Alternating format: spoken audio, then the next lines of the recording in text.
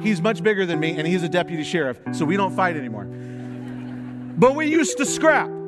And I remember one time, I think my dad was just tired of it, and he grabbed us by the shoulders. It just felt like he had these massive hands on our shoulders, and he walked us to the living room to look out the window.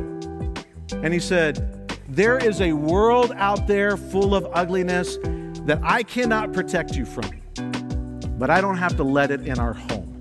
Okay. Message received, Dad. There's something about this passage today that really reminds me of that moment.